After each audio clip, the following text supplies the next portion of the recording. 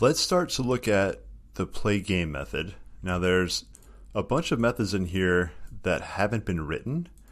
And what I want to do is just do the bet, handle that get bet method, and then we'll worry about uh, dealing with cards afterwards. Okay, notice when I build a player, I give them a fixed amount of money. That's going to be their initial money.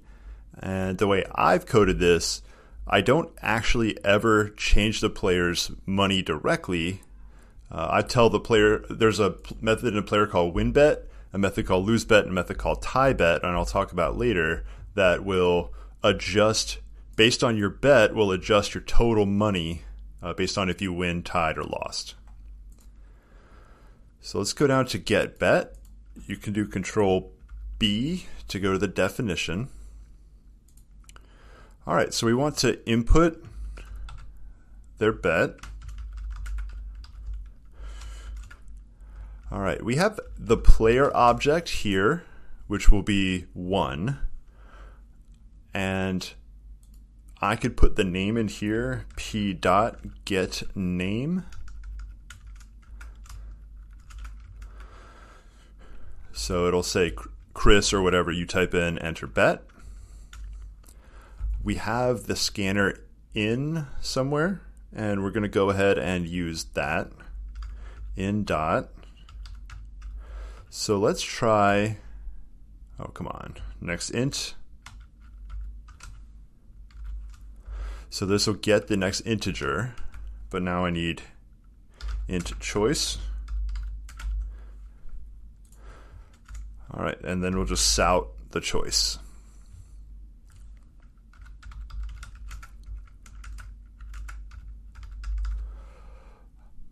All right, let's go ahead, run this, and see how it goes. Oh, we better comment that as well. Make sure your while statement needs to start and end. So make sure you have these brackets here. Uh, the reason I commented this is because you prob you may not have a display score method. Maybe you do, but it's fine. We don't need it at the moment. So let's go ahead and run this, see what we have. So I've already hard coded in Chris because I no longer did uh, read the next line and filled in the name. I just used uh, hard coded Chris in for the name, so I don't have to spend time typing Chris in every time. Enter bet 40. Enter. All right, choice 40. Now you might be wondering why is this happening a second time? Well, let's look at our code. While not is done. So this is going to keep running until the player has no money. And what is going to run? Well, it's going to print a blank line and get bet. Print a blank line, get bet. Print a blank line, get bet. So it's just going to keep running these lines over and over again. For testing purposes, that's actually pretty convenient. So what happens if I type 10? Oh, you see what happened there? Input mismatch exception. So the big drawback of doing next int is if there's not an integer, you're going to get this uh, exception right here, it cannot, it's basically saying it can't convert what you typed to an integer. So let's go ahead and run it again. Enter bet. So if I have any letter in here, I'm going to have this problem. So I'll run it one more time. Now, if you do a number and then a letter, let's do 10A. What the heck happened here? Well, it still can't turn 10A into a number. Let's do 10 space A. And then look what happened here. It actually accepted the 10, but when you do just do next int, looks for whatever is in the input buffer until there's either a space, a new line, or a tab. it's a little weird, but there will never be a new line because that is the key that sends what you typed to uh, system.in.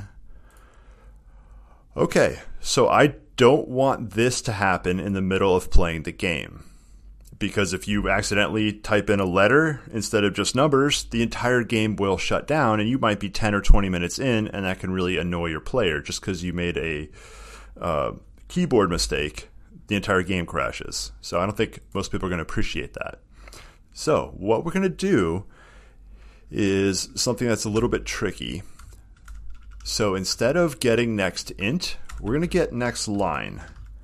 The power of next line is that it's going to grab everything I type. So it'll grab the 10 and the space and the A. Everything up until you hit the return. Uh, and if you do this on the name, I think I did this up on the name here. Next line. Your name could be two or three words or as many words as you want until you hit enter. So it allows longer names or names with spaces in them. Or tabs, but don't put a tab in your name. Okay, we got a problem though, because next line, come on, pop this up. String, there we go. String is what next line returns. So we could run this and it should output the correct number to the screen 40, choice 40, 4, choice 4. All right, we have to churn this number into an integer. And that's a little bit tricky. And so what I'm going to do is use a try catch. So I'm going to start this off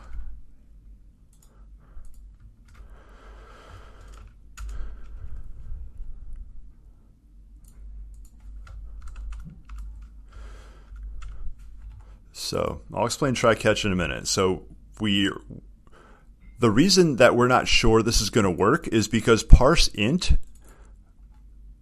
doesn't necessarily there's no guarantee that what I've typed in for choice could be parsed into an int. And what parsing means is basically just converting.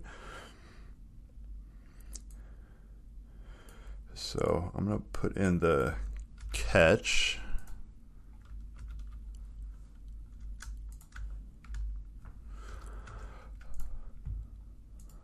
All right, so we're going to try to convert it, and we're going to catch if it's not able to be converted to an integer.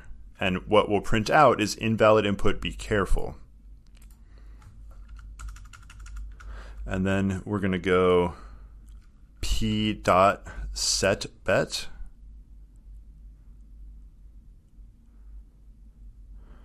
Where's it? Set bet. There we go you do need to write the set bet method. All right, but we have a problem. If I set the bet here, val no longer exists because val was created here. So what I'm going to do is declare it above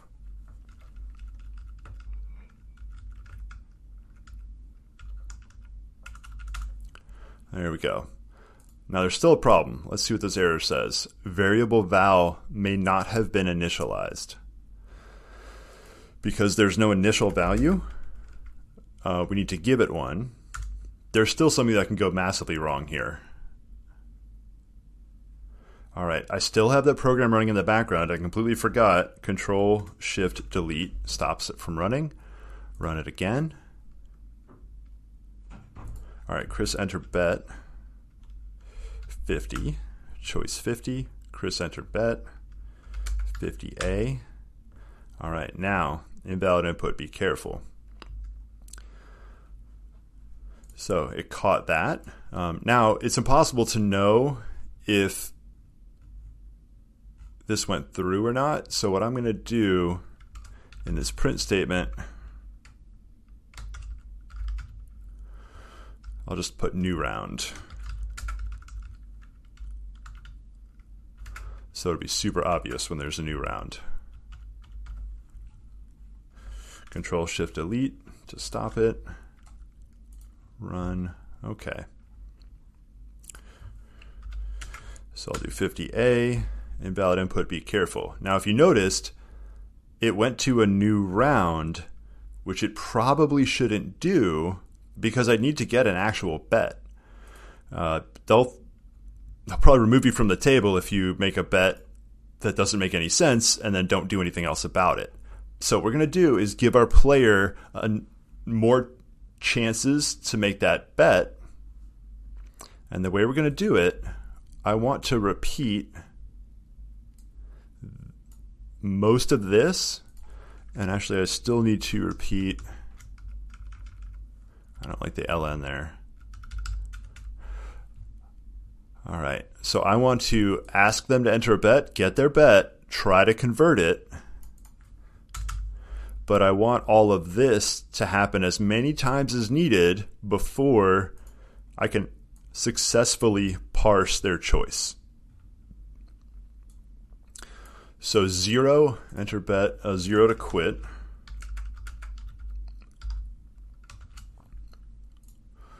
Okay. So it's a, probably a bad idea to start val at zero because that, if I look for that condition to quit, I would quit the first time. So I'm going to use negative one as an initial value. So I need this to run lots of times.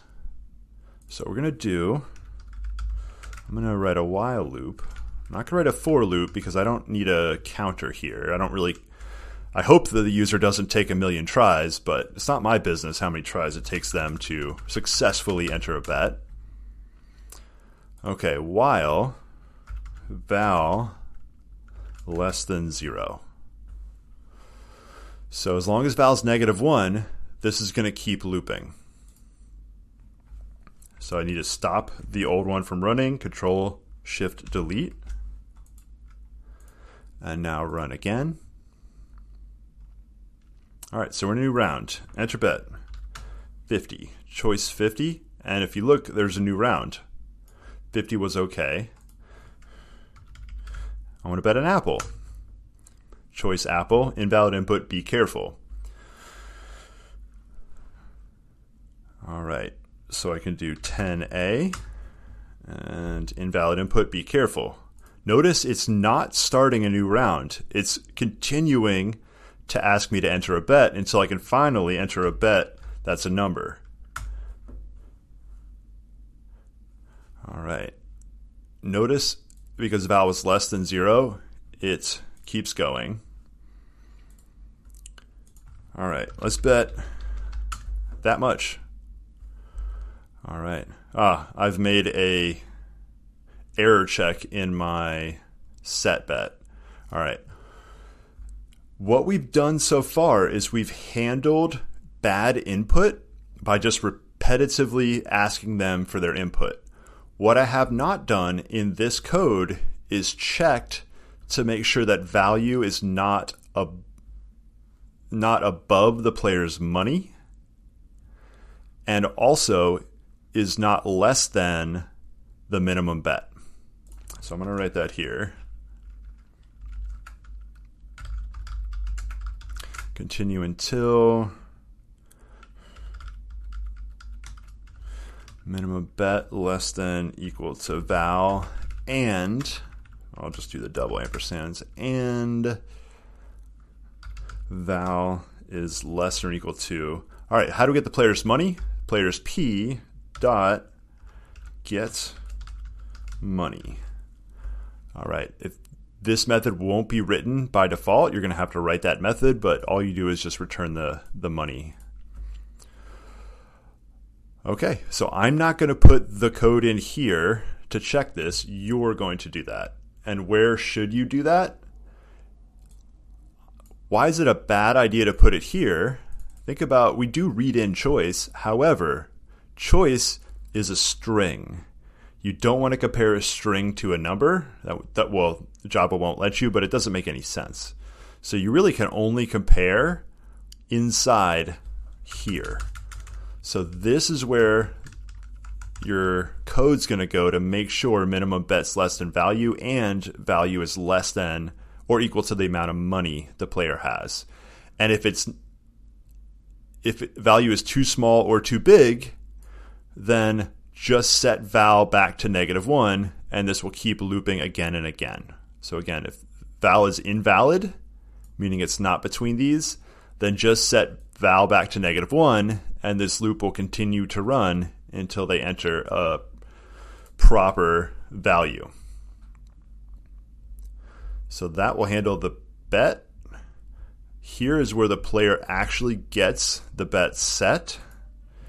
Oh, these rhymes are fun. So this sets the bet for the player. So you're going to have to write the set bet method inside the player. And if you just type this in, it'll say error and you can click on the error. And then one of the options should be to add uh, the set bet set bet method to the player.